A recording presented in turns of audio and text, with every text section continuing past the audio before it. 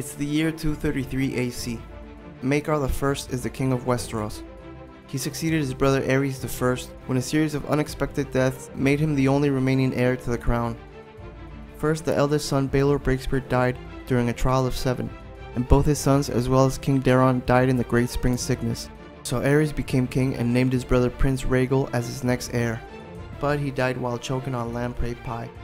So his young son Prince Aelor was named heir, but he died at the hands of his own sister through what is only described as a mishap. So this sister, Prince Aelora, was next in line to die because a couple of years later, still crazy with grief, she committed suicide.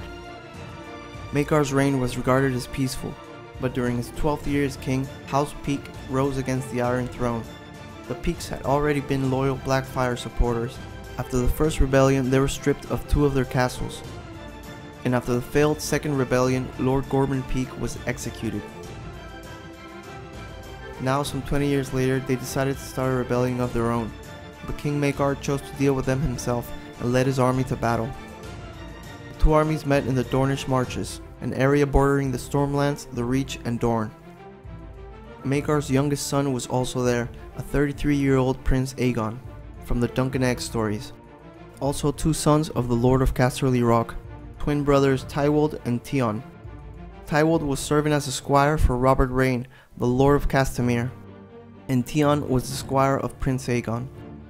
Maekar led the attack on the main gates of Starpike, the last remaining castle of House Peake. During the charge, the Targaryen vanguard was hit by rocks thrown from the battlements above. Sadly, one found its way to Maekar's head. The rock fell with such force that it crushed the king's crowned helm. As the charge continued, Tywald, the eldest of the Lannister twins, was trying to get through the broken gates when he was pierced through with a spear. He died in the hands of his brother, but before he did, Prince Aegon fulfilled his last request and dubbed him a knight. The castle was eventually captured and the rebellion was suppressed.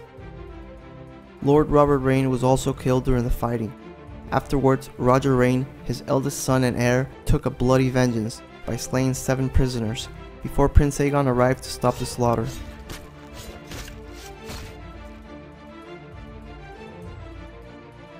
The death of King Maekar caused political chaos, and the matter of succession was so tangled that the hand of the king, Blood Raven, summoned a great council to settle the issue.